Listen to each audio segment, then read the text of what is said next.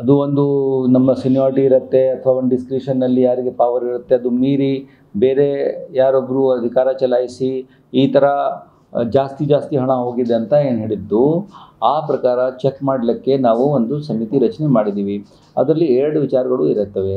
Number one ಈ ಥರ financial ಆಗಿ ರಿಲೀಸ್ ಮಾಡುವಾಗ ಹೆಚ್ಚು ಕಡಿಮೆ ಆಗಿ ಏನಾದರೂ ಪ್ರಾಥಮಿಕತೆ ನೀಡಿ, ಅಲ್ಲಿ ನಮ್ಮದು ಪ್ರಾಥಮಿಕತೆ ನೀಡಬೇಕಾದ್ರೆ ಒಂದು ಕ್ರಮ ಇದೆ. ಒಂದು ಕಮಿಷನರಿಂದ ಅಥವಾ ಯಾವ ಒಂದು ಅಪ್ರೂವಲಿಂದ ಆಗಬೇಕು. ಆ ಬರೆಯುವಾಗ ಕೂಡ ಏನು ಕರೆಕ್ಟಾಗಿ ಯಾವ ಕಾರಣದಿಂದ ಆಗಿದೆ ಇತ್ಯಾದಿ ಇತ್ಯಾದಿ ಇದ್ದರೆ ಆ ಕ್ರಮ ಪ್ರಕಾರನೇ ಆಗಿದೆ ಅಥವಾ ಇಲ್ಲ. ಅಥವಾ ನಿಯಮ ಬಾಹಿರವಾಗಿ ಆದ್ಯತೆ ನೀಡಿ ರಿಲೀಸ್ ಆಗಿದೆ ಹಣ ಅಥವಾ ಇಲ್ಲ, ಅದು ಒಂದು ಫೈನಾನ್ಷಿಯಲ್ ವಿಚಾರ. ಎರಡನೇದಾಗಿ ಈ ಕೆಲಸಗಳು ಏನಿದೆ, ಅದು ಈಗಾಗಲೇ ಸುಮಾರು ತನಿಖೆಯಲ್ಲಿ ಎಲ್ಲ ಬಿ ಬಿ ಎಂ ಪಿಯಲ್ಲಿ ಇರ್ತಕ್ಕಂಥ ಕೆಲಸಗಳು ತನಿಖೆಯಲ್ಲಿ ಇವೆ. ಸೊ ಇದನ್ನು ಕೂಡ ಅದಕ್ಕೆ ತನಿಖೆಯಲ್ಲಿ ಇದ್ದೇ ಇರುತ್ತದೆ ಬಿಕಾಸ್ ಆ ಪೀರಿಯಡ್ನಲ್ಲಿ ಕವರ್ ಆಗ, ಆಗೋಗುತ್ತದೆ. ಆದರೆ ಈ ರಿಲೀಸ್ಗೆ ಮತ್ತು ಕಳಪೆ ಕಾಮಗಾರಿಗೆ ಏನಾದರೂ ಸಂಬಂಧ ಇದೆಯೋ ಇಲ್ವೋ ಅಂತ. ಫಸ್ಟ್ ಏನಾದರೂ ರಿಲೀಸ್ ಮಾಡುವಾಗ ಕಾನೂನು ಬಾಹಿರವಾಗಿ ಕೆಲವು ಕೆಲಸ ಕಾಮಗಾರಿಗಳಿಗೆ ಬೇಗ ಬೇಗ ಆದ್ಯತೆ ನೀಡಿ ನಾವು ಮಾಡಿದ್ದೀವ ನಿಯಮ ಬಾಹಿರವಾಗಿ ಮಾಡಿದ್ದೀವ ಒಂದು. ಅದು ಅದಕ್ಕೆ ಫೈನಾನ್ಷಿಯಲ್ನಲ್ಲಿ ಯಾರು ರೆಸ್ಪಾನ್ಸಿಬಲ್ ಈ ಎಲ್ಲ ಕೆಲಸಕ್ಕೆ ಯಾಕೆ ಮಾಡಲಿಕ್ಕೆ ಹೋದಾಗ ಏನಾದರೂ ಅಲ್ಲಿ ಕಳಪೆ ಕಾಮಗಾರಿಗಳಿಗೆ ರಿಲೀಸ್ ಆಗಿದೆಯೋ ಅಥವಾ ಇಲ್ಲ ಈ ಚೆಕ್ ಮಾಡಲಿಕ್ಕೆ ಒಂದು ನಮ್ಮ ಆಫೀಸರ್ಸ್ ಮೂರು officers I S officers and ಇಬ್ಬರು ಇಂಜಿನಿಯರ್ಸ್ಗೆ ಅಲ್ಲಿ ಹಾಕಿದ್ದೇವೆ. ಒಂದು ರಿಪೋರ್ಟ್ ಏನು ಕೊಡ್ತಾರೆ ಆ ಪ್ರಕಾರ ಮುಂದಿನ ಕ್ರಮ ಕೈಗೊಳ್ಳುತ್ತೇವೆ.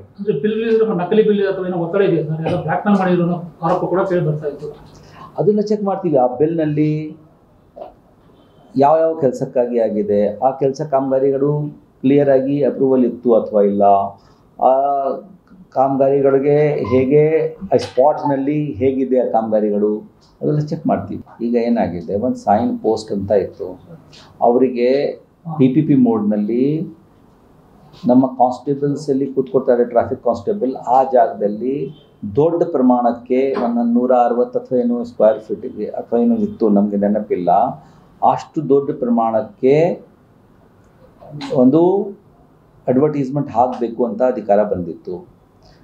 ಆ ಸ್ಪಾಟ್ಗೆ ಹಾಕ್ಲಿಕ್ಕೆ ಹೋದಾಗ ಟ್ರಾಫಿಕ್ ಪೊಲೀಸ್ ಇಲ್ಲಿ ಇಲ್ಲ ಎಷ್ಟು ಮೀಟರ್ ದೂರ ನೀವು ಆಗಬೇಕು ಅಂತ ಆಯಿತು. ಅದಕ್ಕೆ ಅದು ಸ್ಟಾಪ್ ಆಗಿತ್ತು. ದೆನ್ ಅದರಲ್ಲಿ ಕೂಡ ಅವರು ಕೋರ್ಟ್ಗೆ ಹೋದರು. ನಮಗೆ ಪಿ ಪಿ ಪಿ ಪ್ರಕಾರ ಕೊಟ್ಟಿದ್ದಾರೆ ಜಂಕ್ಷನ್ಗೆ ನಾನು ನೋಡಿಕೊಂಡು ಕೋರ್ಟ್ ಮಾಡಿದ್ದೀವಿ.